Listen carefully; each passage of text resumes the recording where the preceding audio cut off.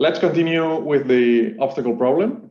So uh, remember that we saw, so the, this is just to, to recall a bit the, the what we last saw uh, yesterday in the last lecture. So remember that we are considering the obstacle problem and then we have, we, we already saw several properties such that the, the problem is a scale invariant and we can consider blowups and blowups are homogeneous. And now we were trying to classify blowups. Okay, so this is the next step in the in the theory is the classification of blowups. Okay, and later later on we will see that actually once the blowups are classified, and then if you get a blowup that is like this, in which you get something flat, then you have to prove that the free boundary is actually C1 alpha. And then from C1 alpha going to infinity, and then we will see what happens with singular points. Okay, but so uh, remember we said that there are uh, two types at least of, of possible blowups.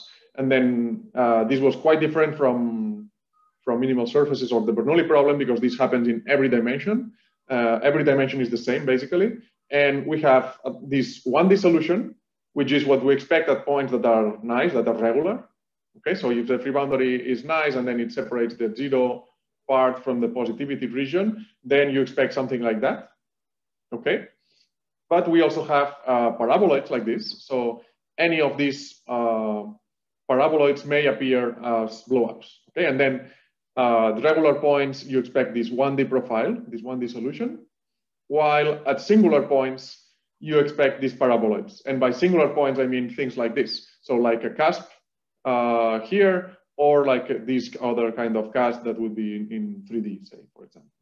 Okay, so different kinds of paraboloids appear when you consider these, um, this kind of singularities.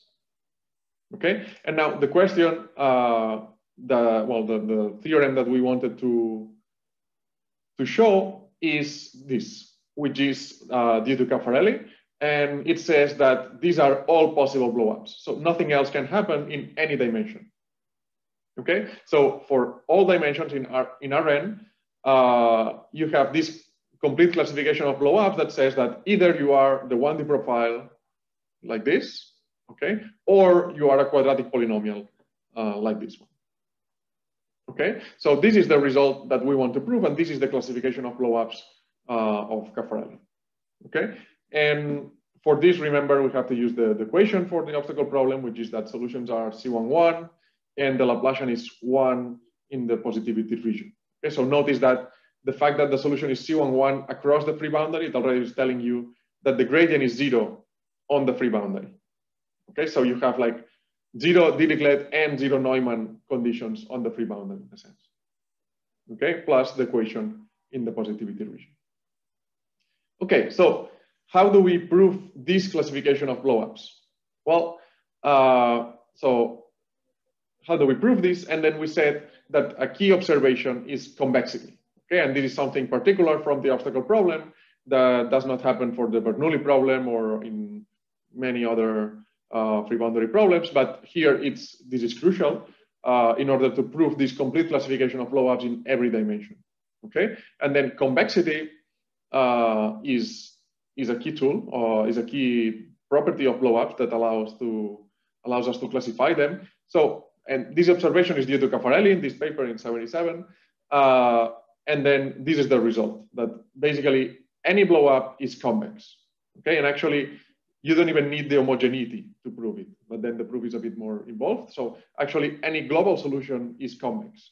Okay, but here we are looking only at two homogeneous solutions. Okay, and then uh, these are the blow ups that are homogeneous.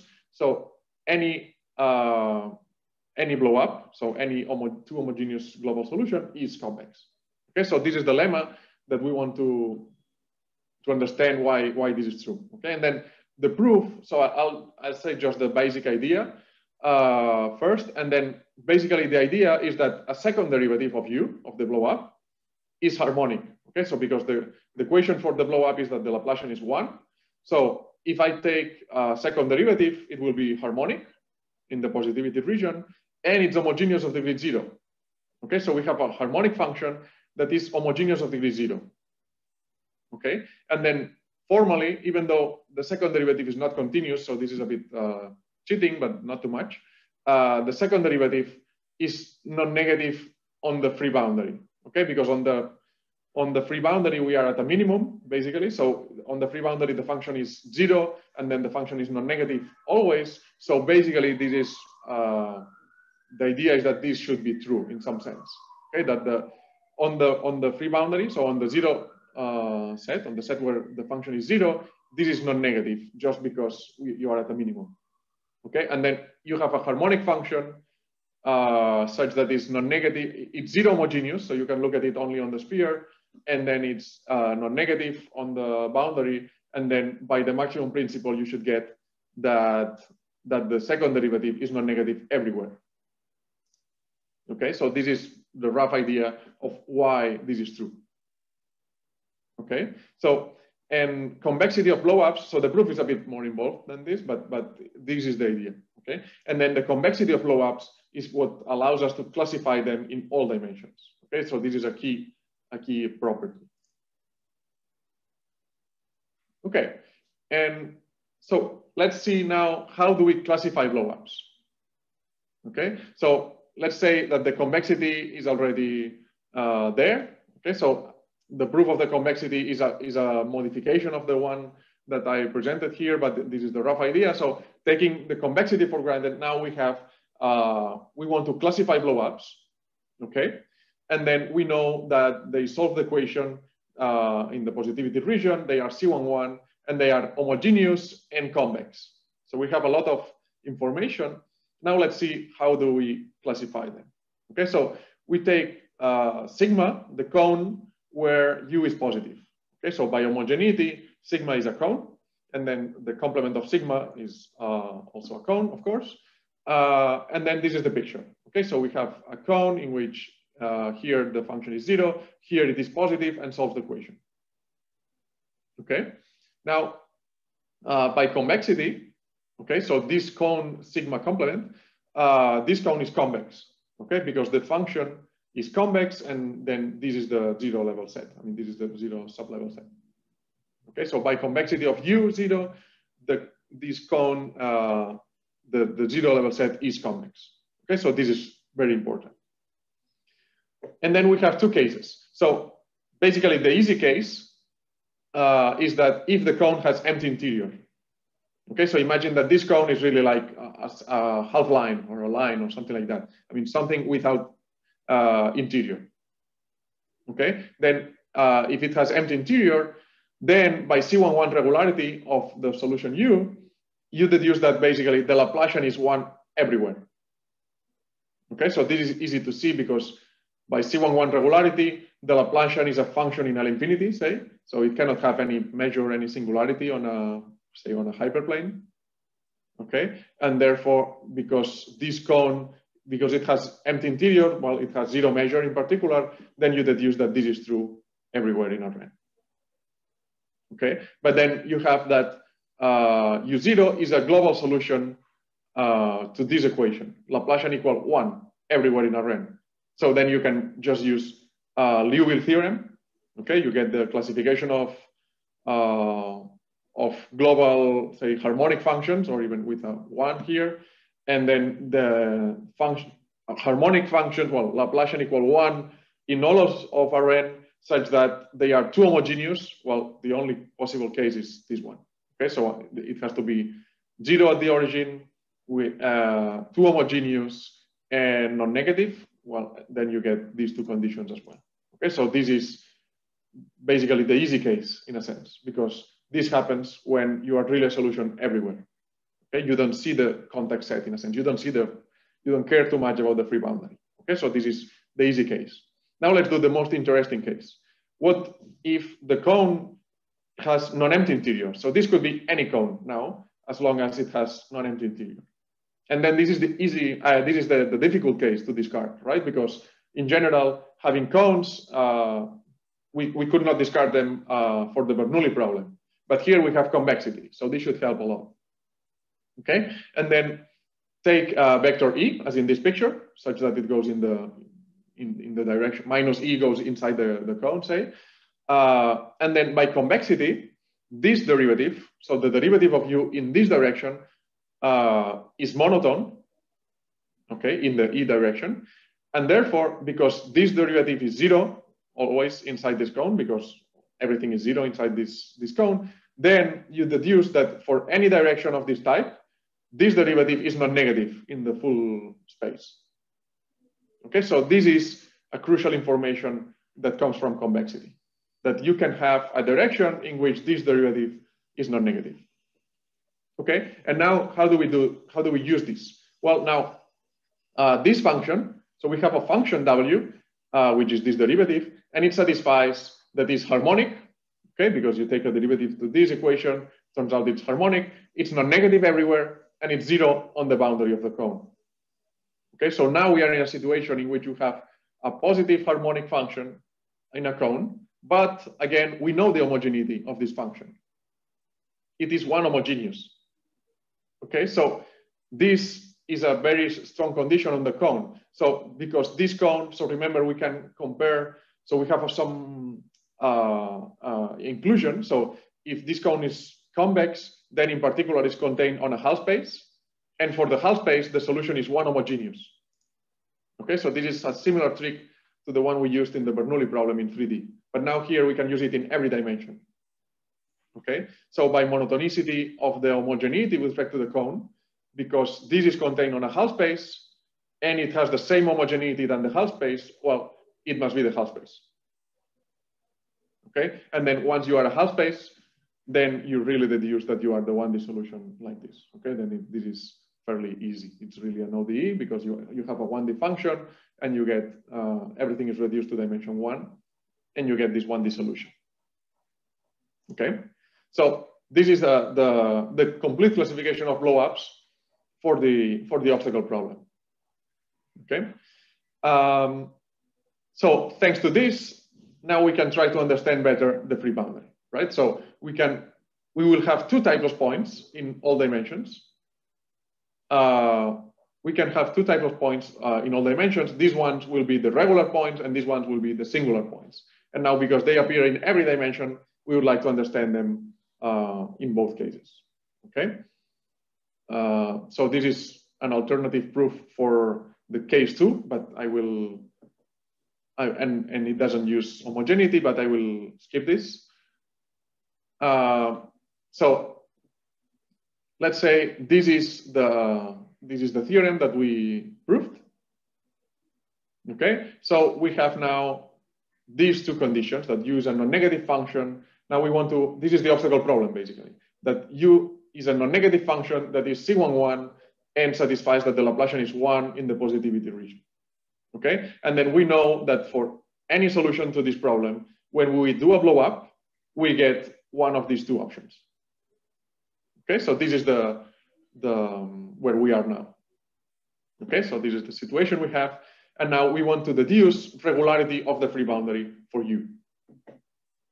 Okay, so how do we do this? Well, uh, the first observation is that we will have two kinds of points. So if this could happen, because we said these kind of things can happen in every dimension, uh, we expect two kinds of points, the, the regular points and the singular points.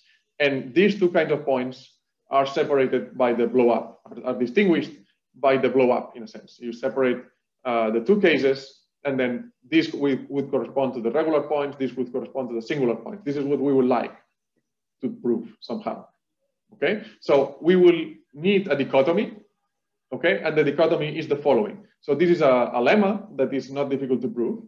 And basically it says that if you look at the uh, at the free boundary, say that the origin is a free boundary point, okay, and say that uh, it's here somewhere or here, okay. So if the origin is a free boundary point, then you have a, a dichotomy. So either either this lim sup is positive or it is zero, right? And this is what will distinguish regular points from singular points, actually. Okay, so if this lim sup is positive, so this is the density of the zero uh, level set. Okay, so if you, you look at the free boundary point and locally uh, the limit, the lim sup when r goes to zero of the density of the contact set of the set u equals zero, the density is positive, okay, then at least one blow up is of this kind. Okay, so and here I'm using this classification. So basically what you prove is that if this density is positive, then uh, along a subsequence, you do a blow up and you get something in which the zero level set has positive measure. Okay, and then because this one cannot be, it, this cannot happen, if the zero level set has positive measure, it has to be this one. So this is the, the lemma.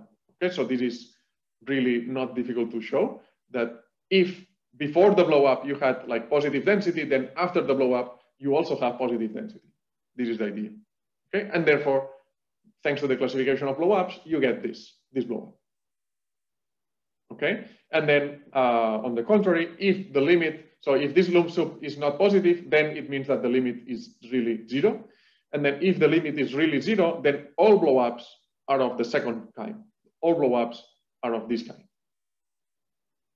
Okay, so this is a dichotomy that we have for the free boundary. Okay, so this is in a sense the, the, the dichotomy for every free boundary point. This is something one can like check. Uh, basically, it's independent of blowups. It's a characterization of what you expect to be regular and singular points. Okay, so this characterization says if the density is positive, then you get this as a blowup. If the density is zero, then you get this as a blowup. Okay. So of mm-hmm. course, I'm not claiming here that all blowups are the same and the blowup is unique and so on. So this is more delicate. We will see this posteriori. Okay, but now we have at least one blowup is of this kind. And here all blowups are of this kind, maybe different sequences give different blowups. Okay, but all blowups are of this type. Okay, and so the proof is, as I said, this is a more or less simple exercise, show that at least one blowup will satisfy this and then this implies uh, that it has to be of this form. And then uh, for the second case, basically is uh, is the contrary. So it's basically show that all blowups will have zero density and therefore they have to be of this kind. Okay, so this allows us to give the definition already of regular point. Okay, so uh, say the origin is a regular point whenever this lim sup, this positive density uh, condition holds okay? And then if this does not hold, then we have the other option, and then it is called a singular point. So this is our dichotomy between regular points and singular points. And from now on, I will denote regular and singular points like this. Okay? So now that we have really, uh, uh, we can distinguish between them in a sense, we can start the study of the, of the free boundary. Okay? Uh, so we have the following theorem, which is a combination of the previous uh, results. Basically, we have that either the origin is a singular point in the sense that it has zero density. So this is what you expect when you have cusps and so on. So this is the like belongs to the singular set, or at least one blow up is of this kind, is a 1D solution. Okay. And the next step is to prove the following. So assume that A holds, so that one blow up is of this kind, so that the point is non-singular, then the free boundary is Lipschitz in a neighborhood. This is the next uh, step in the theory. So we will prove first that the free boundary is Lipschitz, and then we will prove that the free boundary is actually C1 alpha. Okay, so basically, uh, I will sketch the proof, but basically along a subsequence, we will have that the rescalings converge to this. Okay, so up to rotation, I can set E to be En. Okay, and then this is the, the result that we have that the rescalings of my function at the origin converge to this 1D profile in the C1 uh, topology locally uniformly in array. Okay, so in particular, okay, in particular, when I take uh, UR for R large enough, I will see this. I will see a picture in which this is the free boundary point, so this is the origin, and then all the free boundary is trapped between uh, two parallel hyperplanes that are very close to each other. Say. So there, I can make delta as small as I want. All the free boundary will be trapped here. I don't know what happens here, but I know that everything is contained in here. Okay, and then the UR will be zero here and will be positive here. Okay, this is simply by uniform convergence, basically. Okay, so simply by uniform convergence, this is the picture we have. Okay, so, and then this means that any derivative in these, these kind of directions, so that are close to En, say, in these directions, any derivative of UR is close to the derivative of the blow up, which is not negative. Okay, so really I take any derivative uh, in these directions. And then for the blow up, because the solution is explicit, I know these are non-negative and really positive here. And then moreover, so this will be very close to being non-negative. Okay, so basically I will have these two conditions that the, the, the, this derivative in the e direction for any direction e like this is almost non-negative everywhere in B1. So I can make epsilon as small as I want. It, it is almost non-negative in B1 and it is really positive. I mean, I, with a constant that is uh, uniform, say, I can make epsilon as small as I want while keeping k, uh, this kappa here fixed, okay? Just simply by making r small enough, okay? So I have a fixed delta uh, that I can make it small. I have, uh, so I can make delta small, epsilon small, and kappa that is fixed, uh, such that this happens. Okay, it is almost non-negative. It is bigger than a constant in this region, and it is harmonic here. Okay, so it is harmonic in the positivity region and vanishes on the boundary. Okay, so I have a, a harmonic function that is almost non-negative, and it's really positive away from the boundary, uh, and it vanishes on the boundary, zero. And then there is a lemma that I will not prove here, but basically there is a lemma that says that these conditions are sufficient to show that this harmonic function is, is actually non-negative in the half ball. Okay, so say that you have this in, actually you need this in B2, and then you deduce this in B1. Okay, so you need to get into a smaller domain. But, but this is true for every, so there is a fixed R for which this happens. Okay, so this is where we transfer the information from the blow up to the original solution because now there is a fixed R such that this holds.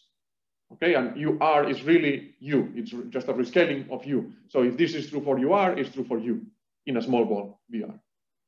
Okay, and this is true for any E such that is close to En, say. Okay, and now I claim that this implies already that the function is Lipschitz, the free boundary is Lipschitz. Okay, because basically having these derivatives that are non-negative imply that the free boundary is Lipschitz, because if this was a free boundary point and then U is monotone in these directions, then it will be, it has to be zero here just by monotonicity. So if it's zero here, it was zero before. And then you can also see easily that it has to be positive afterwards.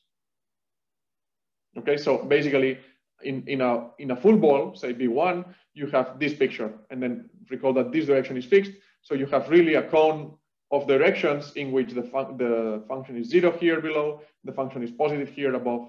So this implies that the free boundary is Lipschitz. Okay, so this is also a, a nice exercise that you can convince yourself this, this is true. Okay, so this is now a general fact about functions. I mean, you don't really use anything else here. Okay, so this implies that the free boundary is Lipschitz in B1 for UR. Okay, so in particular, uh, for the original function U, the free boundary is Lipschitz in BR, okay, because UR is a rescaled version of, of U. Okay, so we have uh, deduced now that the free boundary is Lipschitz.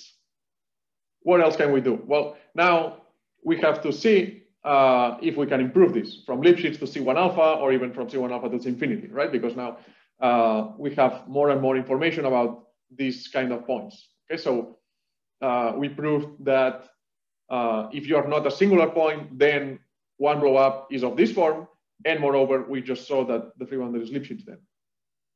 Okay, and then now we want to prove that actually once you are Lipschitz, then you are C1 alpha. Okay, so let's see why why this, this happens. So now the proof is uh, a bit different. So remember that we prove not only that the free boundary is Lipschitz, but also that these derivatives are non-negative. Okay, so and this this is crucial in order to prove also the, the free boundary C1 alpha. So this is very important. This is a lot of information. Okay, so now I want to use uh, something called the boundary Harnack inequality. Uh, so this is this is a classical result for harmonic functions in Lipschitz domains that I want to use. And basically it says that if you have two harmonic functions in a Lipschitz domain, that vanish on a part of the boundary. Okay, and one of them is uh, positive, then their quotient is C, C alpha. Okay, so the quotient of harmonic functions, of positive harmonic functions, say, it's always C alpha. Okay, and if both of them are positive, then of course you can take the quotient of uh, W1 divided by W2 or the opposite. So in particular, they are comparable. Okay, but I will use this form exactly, that if that one of the denominator is positive, then the quotient is C0 alpha. That's it. Okay, and this is called the boundary Harnack for harmonic functions in Lipschitz domains. Okay, so this is a classical result, and and you have uh, in the last few years there have been uh, some improvements of this in, in which you, you can allow a right hand side. Uh, also, there has been a lot of works on more general operators. What, what about uh, less regular domains, etc. But in this version, which is for harmonic functions in Lipschitz domains, this is a classical result from the 70s. Okay, so I want to use this uh, for my problem. Okay, for the obstacle problem. How do I how do you, how do I do it? Okay, well we apply the boundary Harnack to derivatives of u. Okay, let's say u r, which because I wanted everything rescaled. So these two functions, uh, any derivative of u r and the en derivative of u r, they are harmonic. They vanish on the boundary, on the free boundary, and moreover, this en derivative is non-negative. It's well, it's positive actually in the positivity region. So it's non-negative everywhere and positive whenever uh, u is positive. Okay. So I can directly apply the boundary Harnack and I get that the quotient is C alpha.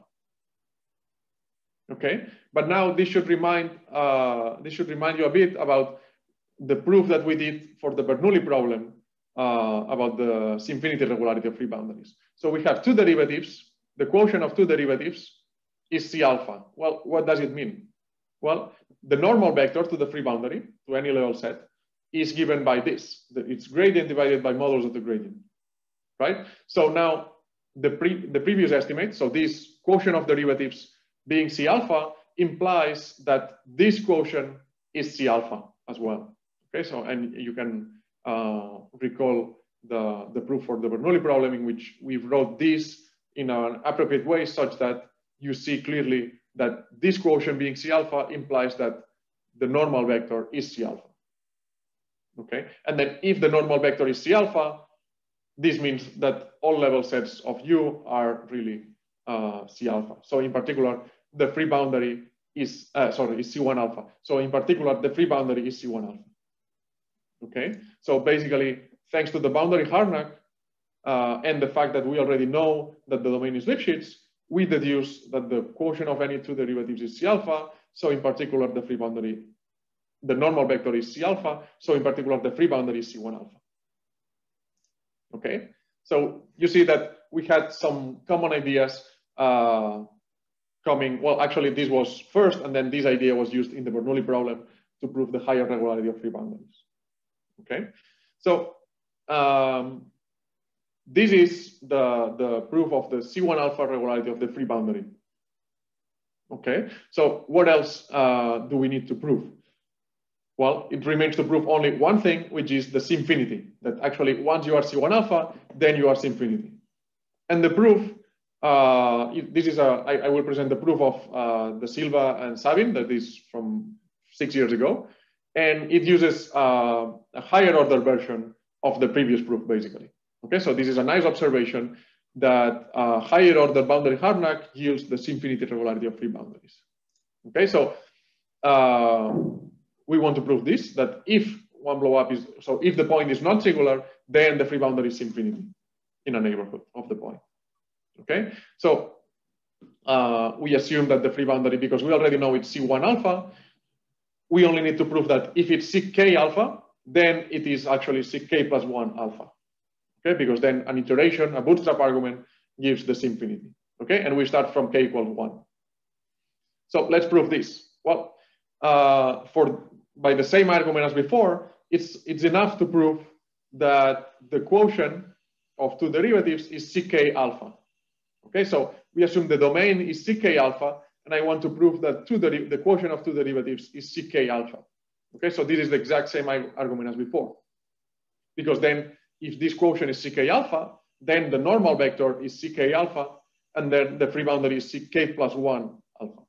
Okay, so this is the kind of bootstrap argument that we do. And then how can we prove that this quotient is ck alpha?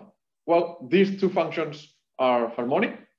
So we need this higher order boundary Harnack. Okay, so now this is a, a boundary Harnack in ck alpha domains. Okay, so for ck alpha domains, the result says the following. If you have two functions that are harmonic uh, and vanish on the boundary, and the one on one of them is positive, say, on the on, on the domain, then the quotient is as regular as the domain for ck alpha domains and k bigger equal than one. Okay, so for Lipschitz domains, we only got C0 alpha for a tiny alpha. Now we really get that the regularity of the quotient of harmonic functions is the same as the regularity of the domain. Okay, so this is non-trivial. This is not, and does not follow from Schauder estimates, uh, but but this was proved in some years ago by De Silva and Savin. Okay, the quotient of harmonic functions in ck alpha domains is ck alpha. Okay, and there basically you apply directly this result to two derivatives of, of u, and then this implies that the quotient is ck alpha. That's it. So this implies that the boundary is ck plus one alpha uh, with the same argument as before, and then we are done. Okay, so uh, using some ideas coming, uh, well, basically these ideas are uh, up to C1 alpha, they are due to Caffarelli, and this one's to De Silva Savin. But we proved uh, now that the, well, the theorem of Caffarelli, basically, which is that if the origin is a free boundary point, then either the free boundary is infinity in a neighborhood, okay? And this can actually be proved to a real analytic, but either the free boundary is infinity, infinity in a neighborhood, or zero is a singular point, and any blow up is of the form Uh, of a quadratic polynomial of this kind. Okay, and the, the contact set has zero density. Remember that the, the characterization of singular points was with the density of the zero level set there at that point. Okay, so this is the theorem that the, this is the famous theorem that Caffarelli proved in 77 in this paper in Acta Mathematica. And now what we want to see is if we can prove, if we can say something else about singular points right? So in general, the picture you should have in mind is that in the obstacle problem, these kind of things can happen. So this even in 2D, you could have something like that. Okay, so you have uh, nice regular points here in which the free boundary uh, is infinity and it separates the zero region from the positivity region. So these are all regular points here, it's infinity. And it creates a cusp here, uh, another cusp here, and then these are all singular points. Okay, so this is clearly a singular point. These are also called singular points. And you could even have small cusps here, infinitely many of them. You could have uh, things like that. Okay, so this is the kind of examples that were constructed already in the 70s. So this can happen.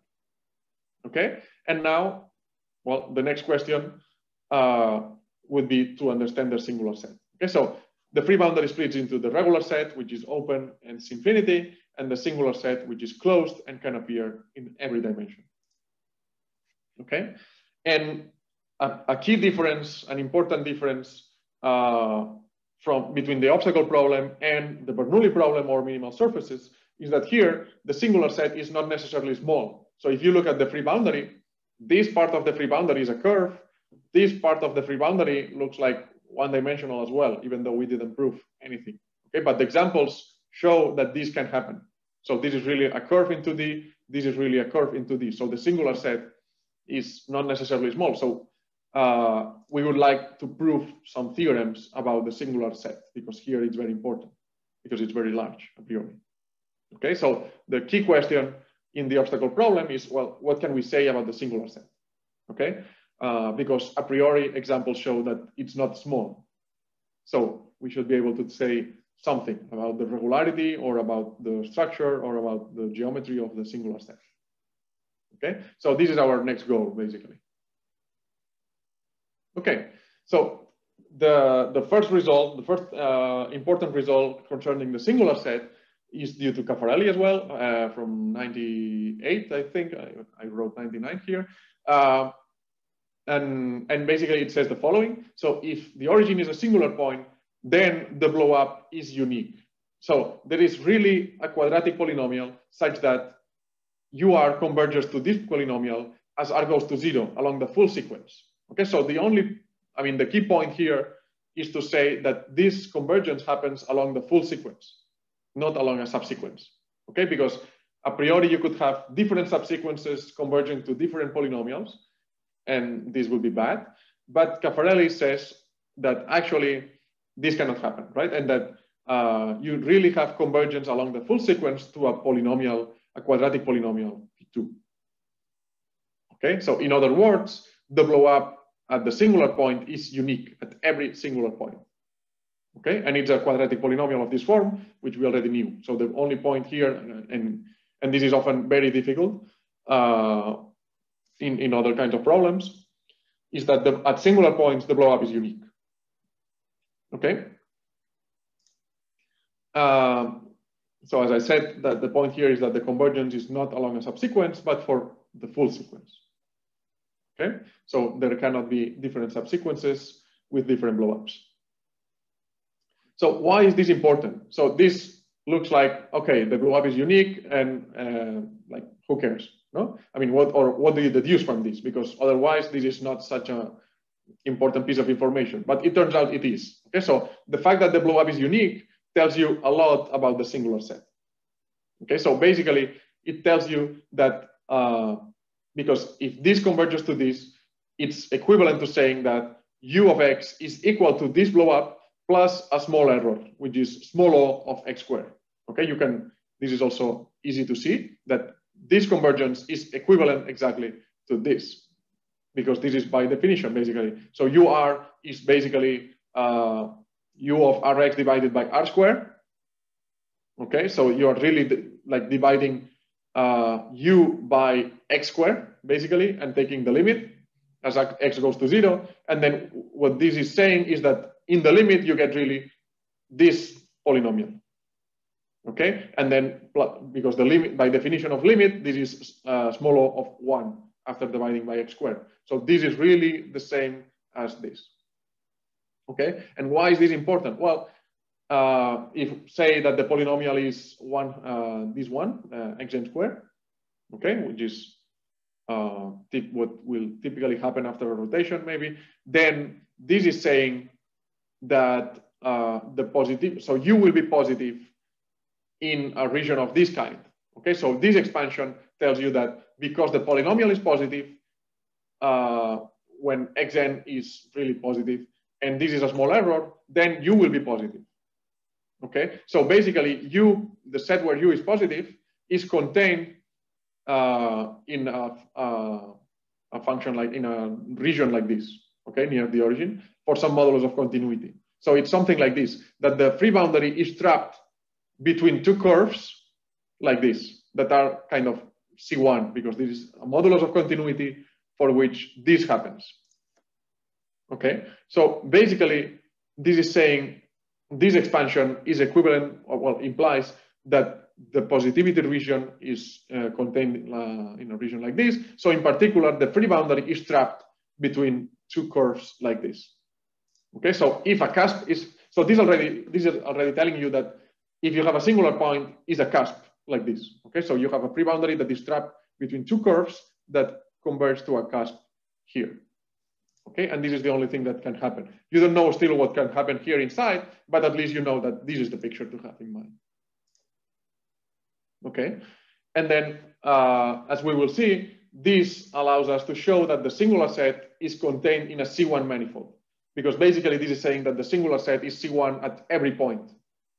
Okay, so this piece of information is telling us that the singular set is C1 at the origin, and then with a bit more effort, this will tell us that the singular set is C1 like uniformly uh, every point. And then this implies uh, that the C1, the singular set is contained in a C1 manifold.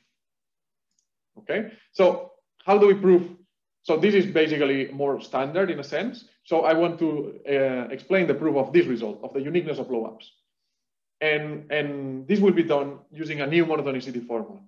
Okay, and then the simplest proof was uh, due to Monneau in 2003, who found a new monotonicity formula that we call Monneau monotonicity formula and says the following. So if the origin is a singular point uh, and Q is any possible blow up, say any T homogeneous polynomial with Laplacian one, then this quantity, okay, this is really measuring the distance in L2 from U to the polynomial, okay, rescaled by the appropriate factor. This is the only factor that works in a sense. Then this function, this quantity is monotone in R. Okay, so this is a new monotonicity formula for singular points in the obstacle problem. Okay, so this is something does not happen that does not happen in many other problems that you have really a nice monotonicity formula for singular points. Okay, and so notice that by scaling, as I said, the, the, the power here in the scaling is the only one that makes this true. By scaling, you can rescale this and translate it to UR, uh, and you get this. So this is a nice and simple quantity. Okay, so it's really the distance from UR to a quadratic polynomial. Okay, and then Monneau tells us that this is monotone. Okay, so how do we how do we prove this monotonicity formula? Well, by scaling, it's it's enough to compute the derivative at r equals one. Okay, so this is similar to the the proof of the monotonicity formula due to Weiss, that we did it only for r equals one, by, because by scaling you deduce it for every r, and then we do it in this formulation because it's better. Okay, it's easier than this one. Uh, so you denote WR, the difference between UR and Q, and this polynomial Q that is arbitrary a priori, okay? And then we compute. So basically the derivative of, uh, of the Monneau quantity is uh, this, okay? So uh, this is by definition of WR. Basically WR is really, uh, remember is rescaled at Rx and divided by R squared. So you really get this, okay? Uh, so it's the two cancels with the one half, and then you get W times the derivative of WR, which is this. And then this is on the boundary. So X times uh, gradient W is the normal derivative because we are on the sphere, on the unit sphere. And then this is twice W squared. Okay. And now you integrate uh, by parts basically, and you put this integral or use divergence theorem you put this integral as an integral inside the, the domain. And now you notice that W Laplacian lap W is U minus Q times Laplacian of U minus Q, which is uh, this. Okay, so it's U minus Q times the Laplacian of, because the Laplacian of Q is one, the Laplacian of U is a characteristic function, so you get minus the characteristic function of the complement of the domain. Okay, so you get this. And then this is, so u is zero on this set, so you get u times this cancels, so you get only with a minus and a minus, which is a plus, you get q times this characteristic function. Okay, so this is w Laplacian w, and this is non-negative. So great, this term uh, is non-negative, uh, so we can forget about it because we want to prove that this is non-negative. Okay, so this derivative is larger equal than this. Okay, gradient w squared minus twice uh, w squared. And then we split this into uh, the u and the q. Okay, so we, we expand this gradient w and the w square, you get this. And I write it as follows. So I write it like this plus this. So yeah, I, am not assuming you have to follow all details. So it's just to see that it's really a computation and I want to see you, uh, I want you to see what do we use basically. Okay, so this is simply a simplification. Uh, uh I mean, I, I, don't use anything.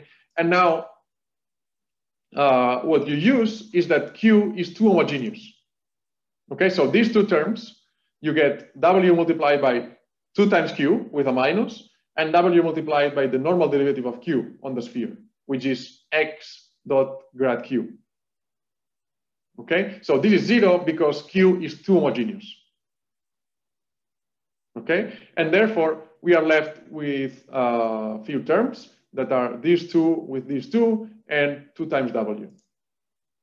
Okay, but it turns out that this is exactly, so two times W is two times U minus Q.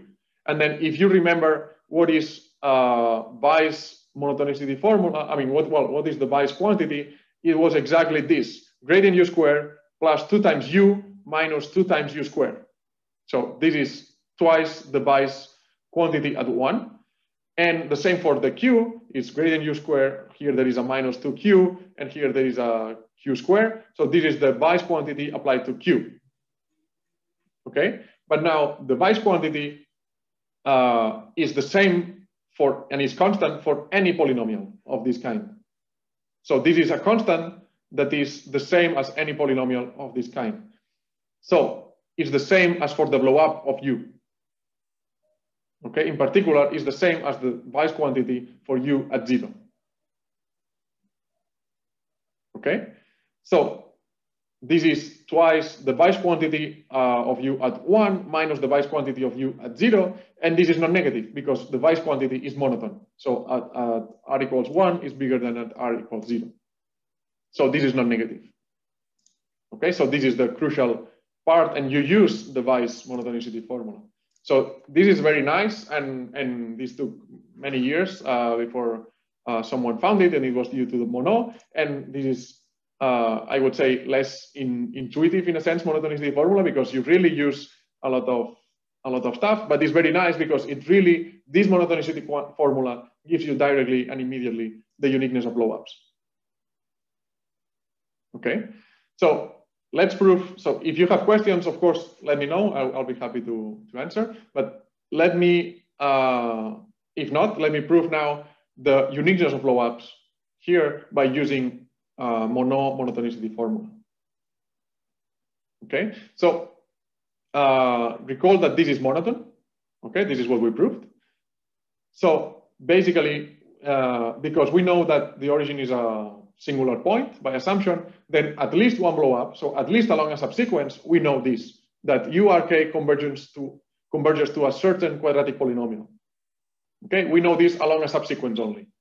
And then we want to improve this to the full sequence okay? But now you take the mono, the Monneau quantity, okay, for U uh, and P2, this P2, you put it here at the scale RK, okay? So you write this with Q equals P2, this P2, and then you know that because this converges to this, then, well, this is converging to P2, so this goes to zero, so this clearly goes to zero for RK going to zero, because this is almost by definition. So this goes to zero uniformly even, so in particular in L2 on the sphere. Okay, so this implies this, but this is only along a subsequence. Okay, so you get, because we have it along a subsequence, you have this along a subsequence. But the Monneau monotonicity formula says that this quantity is monotone in R. So because it's monotone, then the limit exists.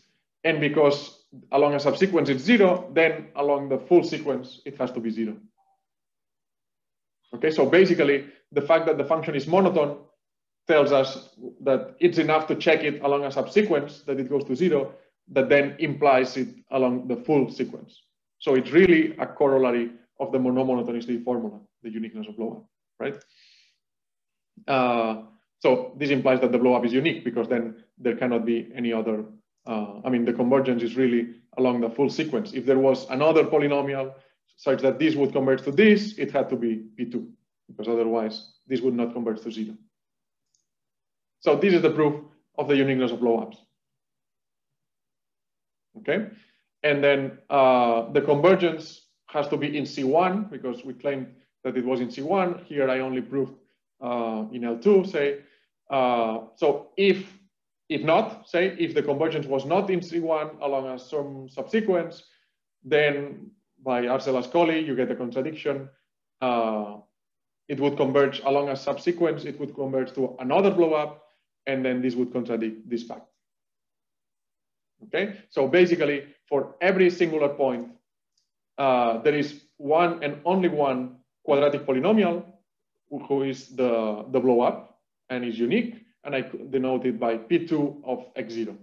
Okay, for every x0, there is only one quadratic polynomial, which is the blow-up.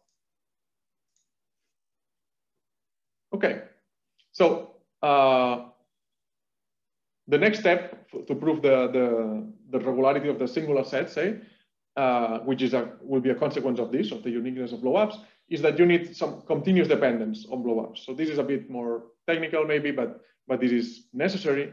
And it says that if U is any solution to the obstacle problem, and for any compact set, there is a modulus of continuity such that this happens. So U is close to the corresponding blowup with a uniform modulus of continuity, okay, that depends only on the compact set, say that if, if this is V1 half, say, then the modulus of continuity depends only on the dimension. Okay, and then this modulus of continuity says that U is close to P2 uh, in, with a uniform modulus of continuity, and the gradients are also close with a uniform modulus of continuity. And moreover, the map that sends the singular point to the blow up is continuous with a uniform modulus of continuity as well.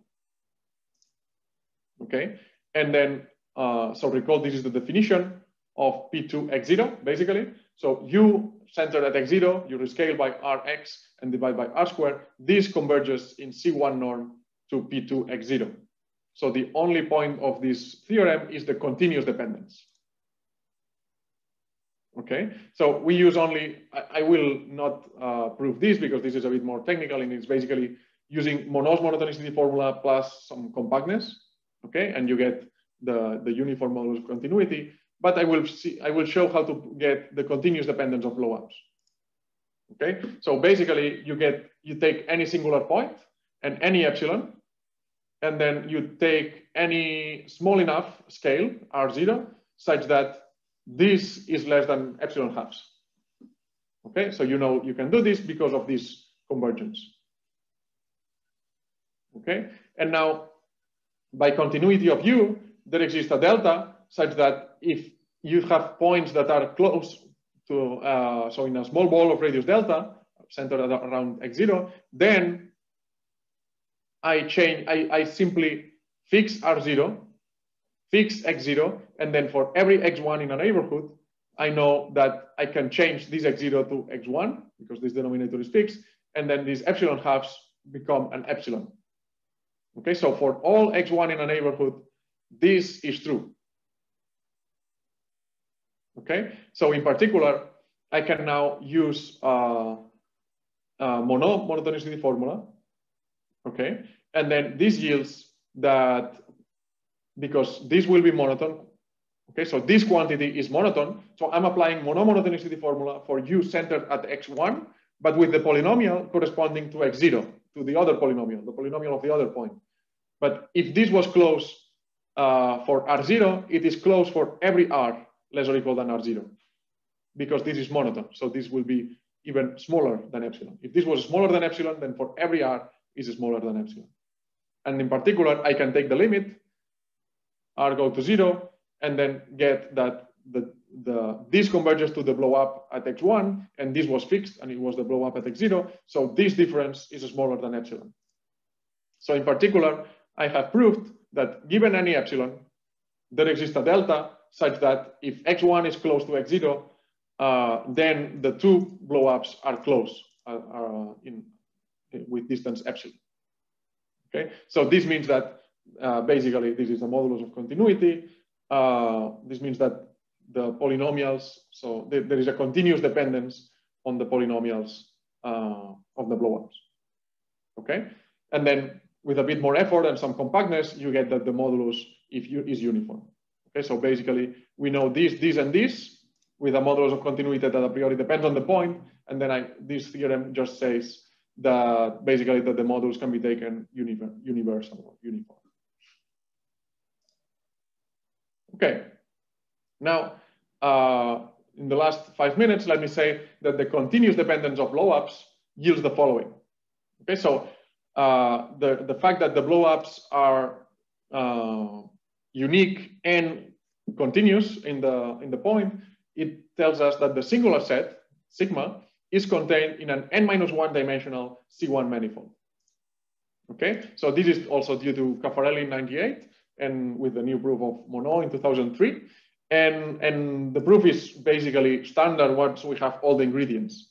Okay, so basically, uh, this is selling, this is saying us, this is telling us that basically with all the previous information we have, we deduce a, a certain structure, a certain regularity of the singular set, which is the one we expected from the pictures we had, right? So this is telling us that the worst thing can happen is this, this picture that we already know it can happen, right? So we have some regular points, then maybe a cusp is created here, then we have some singular points, and then maybe some more regular points here.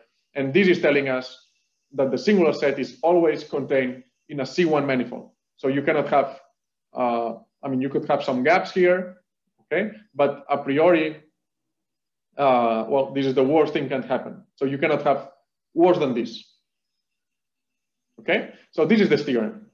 And uh, the idea is that the blow up gives us the tangent plane because u minus the blow up is a small o of x squared. And say in 2D, this is telling us, as I said before, that the, the free boundary is trapped between these two regions, okay? And then this is true for every singular point, okay? And then because the blow up gives us the tangent plane, so this is already the tangent plane uh, here, right, at this point. And then the continuous dependence of blow ups, it's telling, it's telling us that basically for every singular point, we have a tangent plane and that these tangent planes are continuous. So basically, this uh, tells us that the free boundary, well, the singular set is contained in a C1 manifold. Okay, so I'm not proving this. I'm, i just wanted to give a very heuristic idea. Uh, so, and th this is the idea that the continuity of blowups implies the C1 regularity. Okay, and C1 is because the modulus of continuity was uniform. Okay, and this is the C1 manifold that contains all singular points, basically. Okay, so this is of course very heuristic, and the actual proof needs to use uh, Whitney extension theorem, but it's not uh, too long, and and it's somewhat standard. Okay, so once you have the uniqueness of blowups and continuous dependence, then Whitney extension theorem implies the the this regularity for the singular set. Okay, so this is the picture. Uh, and and I think I will stop here because it's it's uh, it's time basically. So tomorrow, well, um, Friday in the next lecture, we will see what else we can say about singular points. So up to here, uh, this was the classical the classical theory basically due to Caffarelli and and Monneau about regular points and singular points and how to prove the regularity of the of the set of regular points, infinity, and what can we say about singular points that they are contained in a C1 manifold. And now what I want to do in the last lecture will be to show, well, to present some, some new results that we obtained uh, last year with uh, Alessio Figalli and Joaquim Serra about the singular set. Okay, so we can say, we can actually say more about singular points, and this will be the content of, of the last lecture.